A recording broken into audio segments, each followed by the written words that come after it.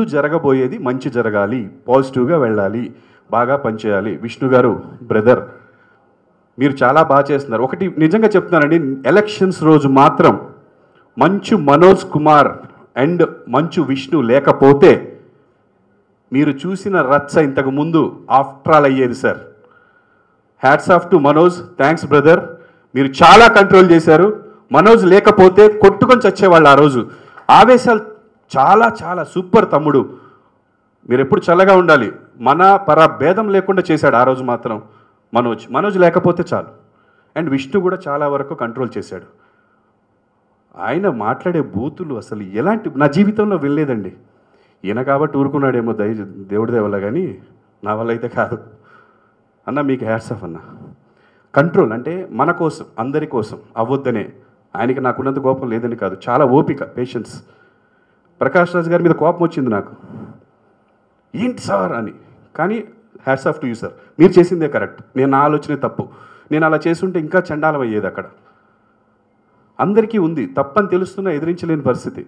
Because నా ఏజోడైతే okay అక్కడ ఉంది. తండ్రి స్థానంలో ఉన్న ఒక వ్యక్తి మాట్లాడుతున్న మాటలు మనం వెళ్ళి ఏం గొడవ పడతామండి?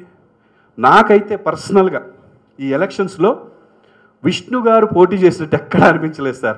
మోహన్ బాబు గారు పోటీ చేసినట్టే అనిపించింది అక్కడ ఉన్నంతసేపు అసలు నాకు విష్ణు గారు ప్రెసిడెంట్గా పోటీ చేస్తున్నట్టు అనిపించలే.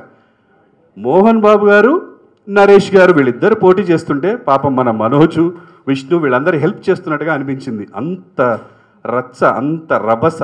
హ్యాట్స్ ఆఫ్ ఇదంతా కూడా ప్రెసిడెంట్గా గెలవడానికి వాళ్ళు ప్రజలకు సేవ చేయడానికి వాళ్ళు ఇంత కష్టపడ్డారని నేను నమ్ముతున్నాను. ఇంత ఫైట్ చేశారు ఇంతమందిని బూతులు తిట్టారని నేను నమ్ముతున్నాను. నా మెంబర్స్కి నా తోటి మెంబర్స్కి సేవ చేయడానికే వాళ్ళు ఇంత చేశారని నమ్ముతున్నాను. ఆ సేవలు వాళ్ళకి కరెక్ట్గా అందడం కోసం మొత్తం మీ ప్యానల్ పనిచేయండి సార్.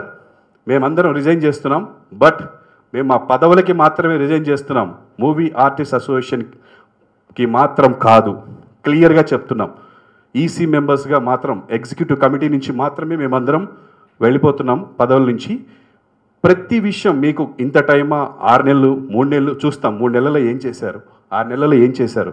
చూడకపోతే నన్ను గెలిపించిన మూడు వందల పంతొమ్మిది మంది తరపున డెఫినెట్గా ప్రశ్నిస్తాను నేను.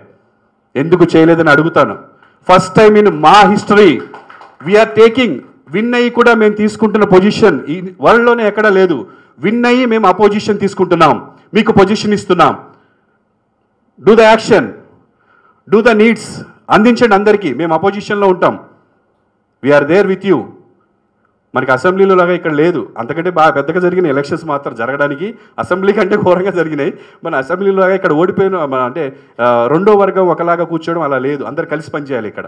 సో అలా చేయలేం కాబట్టి అలా భయం వేసి అంటే వాళ్ళకి భయపడి వెనకెళ్ళడం అని కాకుండా మెంబర్స్కి ఏది వెల్ఫేర్గా ఉంటుంది అనేది ఆలోచించి ఒక మంచి నిర్ణయం తీసుకున్నాం అందరం కలిసి. సో దయచేసి విష్ణుబాబు మీరు బాగా చేయగలరు. మీకు కమాండ్ ఉంది. నేను చూశాను. ఒక్క పదంతోనే మీ కమాండ్ చూశాను. మీరు ఆ కమాండ్ తోటి మన మా మెంబర్స్ అందరికి కూడా మీరు వెల్ఫేర్ ప్రోగ్రామ్స్ అన్నీ చేసి వాళ్ళందరికీ మంచి జరిగేలా చూడాలని మనస్ఫూర్తిగా కోరుకుంటూ మేము మెంబర్స్గా లేకపోయినా మేము ఇప్పుడు ఈసీ మెంబర్స్గా లేకపోయినా అలాంటి పనికి మీరు పిలిస్తే మేము సర్వెంట్స్ లాగా వచ్చి పనిచేస్తామని ప్రామిస్ చేస్తున్నాం ఇక్కడ ఉన్న వాళ్ళందరూ.